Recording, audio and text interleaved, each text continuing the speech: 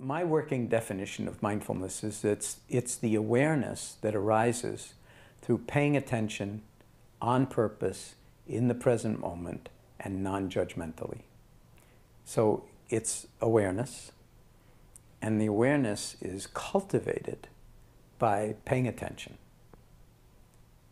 And in a particular way, on purpose, in other words, intentionally, in the present moment, which is the only moment we ever have to be alive in, and then most challenging of all, non-judgmentally. And that means, of course, we have judgments about everything, but to not be caught in those judgments so that we uh, color everything through our likes and dislikes.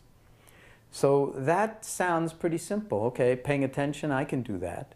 But actually, when you start to pay attention to how much we pay attention, a lot of the time our minds are all over the place and we have a very hard time sustaining attention.